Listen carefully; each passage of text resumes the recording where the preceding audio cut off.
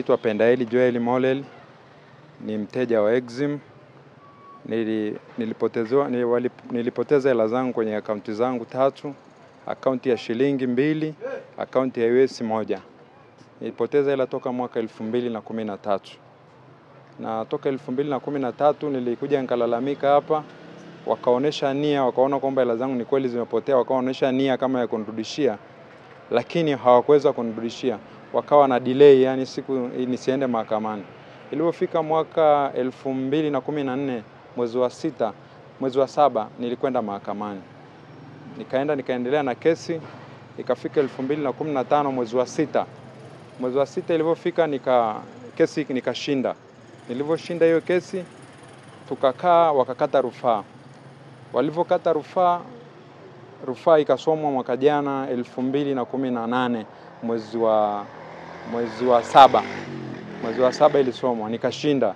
Nilivyowashinda waka, wakaanza kuleta vurugu vurugu ya kusema kwamba sio hawajatendewa haki nini na nini, wakaenda mahakamani. Walivyokwenda mahakamani nikawashinda tena tarehe 28 mwezi wa 12 mwaka jana. Nilivyowashinda nikaenda mahakamani kukaza hukumu. Nilivyokaza hukumu ndo maamuzi yakatoka juzi tarehe 30.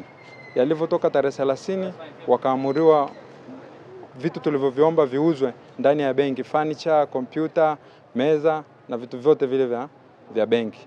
Kwa hiyo vi, vi, vishiko viuzwe na koti Broker. Kwa hiyo benki Exim, Zote hapa Arusha. benki zote za Arusha e, Arusha mjini, Shoprite, Kijenge na Karatu, yani branch zote. Kwa hiyo tunatakiwa kuzishika vitu vyote hivyo. Kwa hiyo tumeanza zoezi hilo jana na jana tulishika na wakawa wamepiga simu wakasema kwamba saa tatu watakuwa wameweka hela kwenye akaunti yangu, lakini mpaka sasa hivi tunavyoongea hakuna hela iliyowekwa na hakuna chochote kinachoendelea. Zaidi si tunaendelea kukamata vitu vilivyoko mahala hapa. Ni shilingi ngapi mnadai na labda unadai na labda hizo fedha zako zilipoteaje?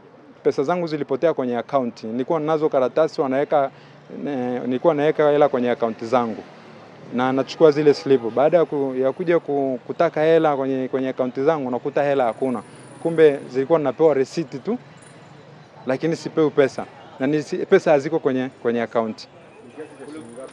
Vitu hivyo haviwezi, tutakuwa tunaendeza, ni mwendelezo wa kuvishika vitu vyao mpaka pesa yetu itimie.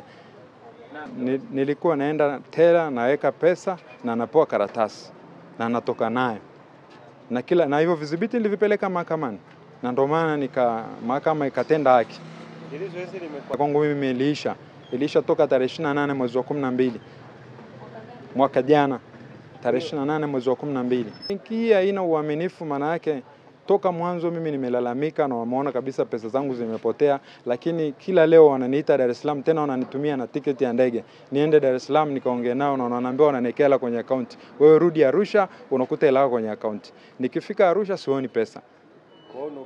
Ni ubabaishaji, yani ubabaishaji wa hali ya juu.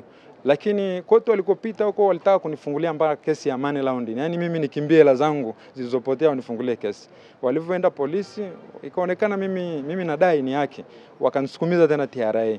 TRA kule ndo naendelea na mambo ya TRA, lakini nashukuru mahakama imeona kwamba nina haki na imenitendea haki, na katika kipindi cha, cha, cha rais wetu rais wetu mtukufu John Joseph Magufuli.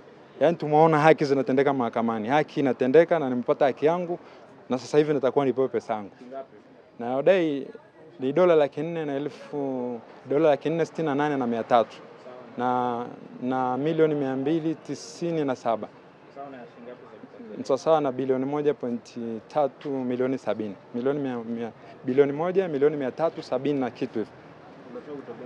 Kama unapenda kuwa na muonekano mzuri wa kichwa chako baada ya kunyoa, sasa usiumize akili. Hapa na wazungumzia J&R Mtita Barbershop ambao ni saluni ya kisasa na bora kuliko zote. Fika J&R Mtita Barbershop ambao wamekuandalia huduma zifuatazo: kunyoa, scrub, brichi, wefu, massage na nyingine nyingi ambazo utazipata hapa J&R Mtita Barbershop. Wanapatikana Buguruni Rozana, mtaa wa Mitungini, Mbagara Kongowe, mtaa wa Kichangani. Kwa Azizi Ali wanatazamana na zahanati ya Mtoni. na Tandika wapo Sudani. Kwa mawasiliano zaidi piga simu namba 0745884112. Joe J and R Mtita Barbershop. Karibu upendeze.